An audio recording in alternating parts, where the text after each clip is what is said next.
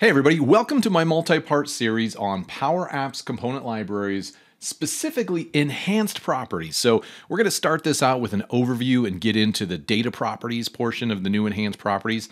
These are currently in preview uh, as of today, which is February 2nd, 2025. Super excited for them. I think they enhance components, component libraries quite a bit. So excited to show off some of the features that are available in all four of them to you throughout the course of this series. My name is David Warner. I work for Quisitive. I'm a big fan of the community and collaborating with all of you, Microsoft MVP, Microsoft Certified Trainer. So let's get into it.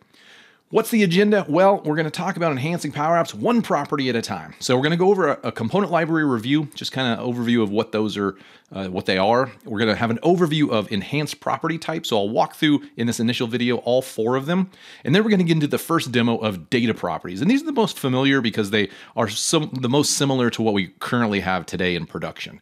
And then I'll go over what's next, a preview of function, action, and event properties. So, what is a component and component library? Well, they're essentially reusable functionality within Power Apps. So, components can be built within an individual app that allows you to reuse the functionality you build in that component, but then a component library lives outside of any individual app. And that means that the components inside of that library can be imported into multiple apps. When you create a component in a single app, it's only reusable within that app. But a component library essentially acts like a central repository. So, you can inherit it and import it to multiple apps, and then you only have to change it in one place. So it's that one single source of truth. You make the change in your component library, and then all the apps that use it get alerted to the update uh, that is available. They can update and get the most recent features and functionality that are available in it. So lots of coolness there. Uh, we'll go over some more details about that here soon. Now let's talk about these new enhanced properties. So we have four of them. All right, there's four new properties data properties, function properties, action properties, and event properties. Now, those last three function, action, and event, they have optional parameters. So we'll talk more about that as we get into the demos. But you can extend the functionality of them. You can make them a little bit more malleable and dynamic by passing in parameters and arguments and stuff like that. So let's talk about data properties first. These are the most similar to what we currently have today. You pretty much identify a data property to be an input or an output, which means that you're passing information into the component from the app input, or output, meaning that the component is passing information over to the app. And you can identify what the data type is. So you could say it's going to be a text or an image or a record. There's a whole plethora of choices there for data type, but it's pretty basic. You're just passing data back and forth between the component and the app. Pretty simple. Next up is function properties. Now, these are just simply related to logic. It works more like your programmatic functions, uh, and you pass in parameters. This is our first one where we can see the use of optional parameters, so we'll see that inside of our demo. Uh, now, these can be input or output, which means that the functions can be executed within the app and called within the uh, component, or uh, the function can be executed within the component but called from the app. Uh, but you can't use any behavior like examples. You can't access variables, uh, you can't do any resets or selects. You're just using basic functionality that gets returned to whatever is calling the function. Pretty basic stuff. We'll see in a good example of it though. Next up is action properties. Now, action properties work almost identically to the output function property, with the exception that you can actually chain expressions, you can manipulate collections or variables, and you have access to behavioral experiences. So you can actually invoke the clickable event of something within the component. So, for example, uh, if you have a button in a component and you create an action property, that actually connects to that button, somewhere else in your app, you can invoke that on select experience. You don't need to actually click the button inside of the component to actually invoke the functionality that is behind the on select of that button. So again, very cool means that essentially you define the logic in your component then your app can invoke that logic as long as it is available in the action property. And again, it's got optional parameters, so you can kind of extend its functionality and make it a little bit more dynamic. Lastly, we've got event properties. Now, these again are very similar to the function properties in the input category. So it's much like the action properties were the replica of function properties or output function properties. The in, event property is pretty much the same thing. It is an input function, but gives you access to that behavioral experience. So you can manipulate collections, variables, uh, you can define logic that uh, allows you to change the behavior and experiences. So again, while the functions are just basic functionality, just performing uh, whatever it is that's being told to do without access to variables, Event properties can have those optional parameters and again have access to things like on select, on changed. Uh, and it's, it's really cool. Remember, it's like a callback essentially to the app. So within your component, when a function happens or when a, an event happens within your component, you can essentially alert the app that, hey, this thing happened. A button has been clicked. Now you in the app need to go do something else. And we'll see what that looks like in, in a demo. So let's dive deeper into our first collection of properties, which is your data properties. Uh, these have two varieties, input, output. And again, these are the most similar to what we have today, which is just input, output, and we define a data type. They're just now called data. So what can they do? Well, they're for simple passing of values into a component, right? Uh, you can define the data type, it can be text, numbers, colors, booleans, whatever, image, for example. You return values out of a component. That's the output. So the first passing values into a component, input. Uh, returning values out of a component, output. Again, simple data, badge image. We're going to see an example here. Uh, text, numbers, colors, booleans, just simple data. And so you can also sort of manage simple state between the two. We'll see that in a demo here. So very simple stuff, but it's still uh, valuable and useful. What it can't do, it can't trigger actions, uh, so navigation or submitting forms, resets, selects, etc. And you're not going to be able to modify global variables uh, directly within these or affect controls outside of the component. Uh, you're just simply passing data in and out uh, that either the app can use on the output or the uh, component can use on the input. So uh, let's look at a demo of this. So what we're going to do, what is our use case? It is we're going to display some badges. So I'm a big fan of the community. We have a community program called the Recognition Program. So if you contribute to the community in a variety of ways, you can earn badges from Credly. So what we're going to do is we're going to create an input property that allows us to request from the component the image that we want to see of a specific badge. And then we're going to use an output property to return that image. Uh, from the component to the app. So it kind of demonstrates the flow between the app and the component using simple input and output properties. All right, so here we are in Power Apps Studio. Now let me set some context and identify some things that we've already done. Um, I've got a number of components that are going to be for all my videos here. Uh, we're going to focus here on the data properties today uh, to show just the input output. I've also added in some media. So we want to display our badges within our screens in our app. So I've pre-uploaded some images here of badges for things like uh, SharePoint Hackathon that's coming up here soon. Uh, if I click on that, we can see that here. Uh, that badge is going to be coming up here soon. I'm pretty excited for that. There's also the Powerful Devs, uh, oops, which is right there. So we see that right there. Powerful Devs event coming up here soon. I'll include all kinds of links to these in the show notes, but if you're watching watching this uh, at this actual moment in time, in early February, these are going to be coming up some some cool events uh, that we can do. So I'm just storing the images here uh, inside of my component library for now. You could always be pulling these images in from somewhere else, but for purposes of the demo, it's just simple enough to be able to reference them.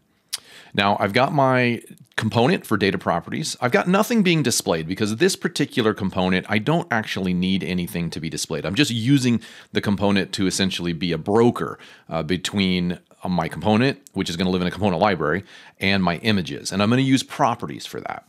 Now, the way you do that is you create custom properties over here in the property panel of your component. So I can click New Custom Property, and we see that our property type choices are now much larger, right? We've got those four that we talked about, data, function, event, and action. So I'm going to be keeping data. I've got a couple here that I've pre-built for us, uh, but you can choose the input or output, right? So we know what that is now, input or output, and then the data type.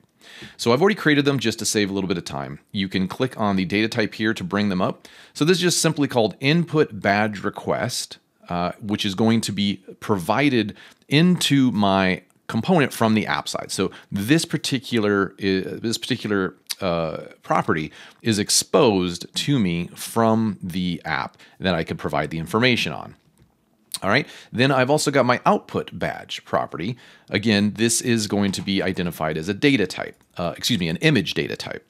And so I'm going to send back to the app an image, and I define the logic here.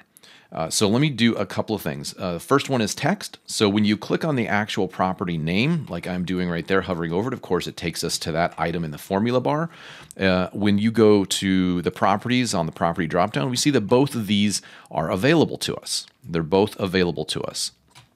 So let me first go into the input. And what I have is I have community contributor. So I'm setting that as a default value.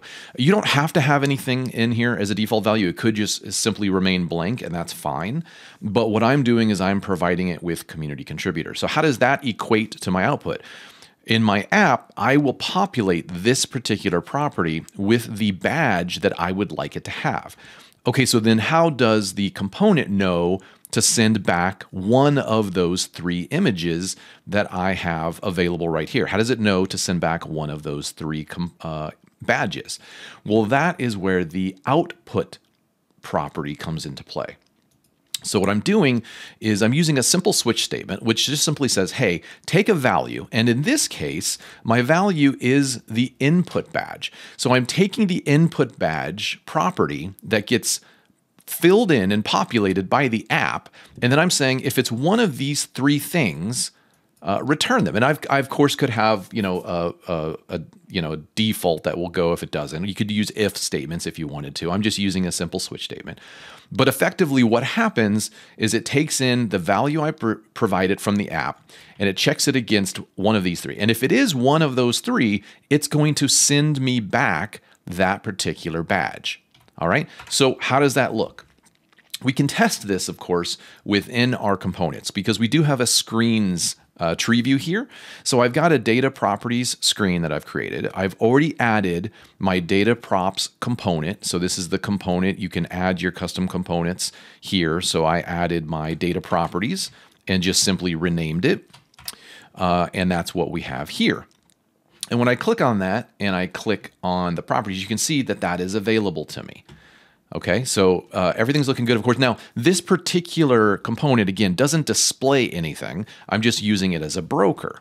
So what I want to do is I want to create an image. I'm going to insert an image, all right?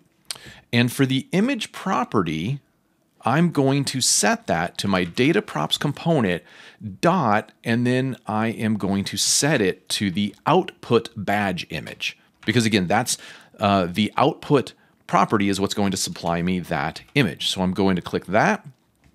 And what happens is now it shows me the powerful devs. Now, how or why is it showing that? Well, if I click on the component on my screen, right, I click on that right there, and I go over to the input badge request, that's the input property. I go there, it is supplying powerful devs. So now if, if I change this powerful devs value, which I had pre-populated, uh, over to community contributor, we should see that. We see the community contributor. So exactly what is happening? How is this happening? Well, again, what I'm doing is on my component, which I dropped onto my screen, it has that input, and that's why it shows up.